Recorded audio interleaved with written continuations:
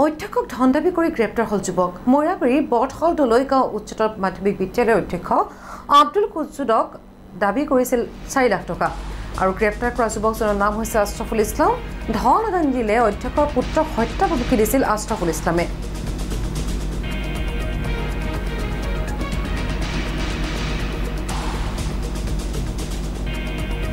পুনৰবাৰ জনাইছোঁ অধ্যক্ষক ধন দাবী কৰি গ্ৰেপ্তাৰ যুৱক মৰিয়াবাৰী বটহল দলৈ গাঁও উচ্চতৰ মাধ্যমিক বিদ্যালয়ৰ অধ্যক্ষ আব্দুল কুদ্দুছক দাবী কৰিছিল চাৰি লাখ টকা।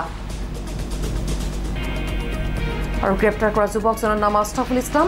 ধন এটা নিদিলে অধ্যক্ষৰ পুত্ৰক হত্যা ভাবুকি দিছিল আষ্টাফুল ইছলামে।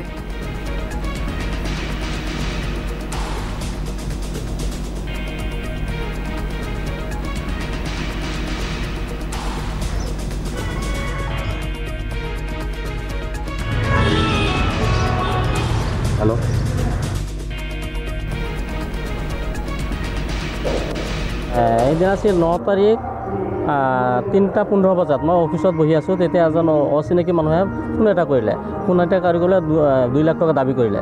কৈছোঁ কিয় কিয় দুই লাখ টকা দিব লাগে? মোৰ ক- কি অপৰাধ? কৈছে নহ'লে আপোনাক মাৰি পেলাম। কিয় মাৰি পেলাবা?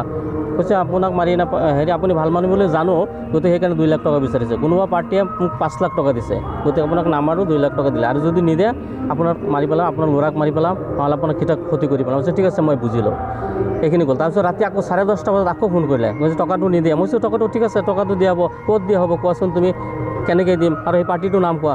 কৈছে এইটো আমি নকওঁ আৰু পাৰ্টিৰ টকা দিলে কম কৈছে নহয় এইটো কোৱা? কৈছে ঠিক আছে আপুনি নকয়। ঠিক আছে মই এতিয়া গেম ষ্টাৰ্ট হৈ যাব। চাৰে দহটা বজাত ক'লে আৰু চাৰে বাৰটা বজাত ৰাতি চাৰে বাৰটা বজাত সেই মানুহকেইটাই মানে গাড়ীত জুই লগাই দিলে। কোনে লগাই দিলে আমিতো নাজানো। তাৰপিছত আমি অফিচক পুলিচ ইনফৰ্ম কৰি লাগ কৰি আৰু অচি লগে লগে আহিলে ইনকুৱাৰী কৰিলে চালে পিছদিনা মই গৈ এজাহাৰটো দিলোঁ। এজাহাৰ দিয়াৰ পিছত তাৰপিছত দুদিন তিনিদিন পাৰ হৈ গ'ল আছামী হেৰি নকৰে। তাৰপিছত আমি এডিশ্যনেল এছ পি আমিৰ বৈশ্য ছাৰ মৰিগাঁও ডিষ্ট্ৰিক্টৰ এডিশ্যনেল সমীৰণ বৈশ্য ছাৰৰ তাত গ'লোঁ। ছাৰে লগে লগে হেৰি কৰি টেক্স চেক কৰি পেলাই ৰাতি আছামীটো ধৰি পেলালে।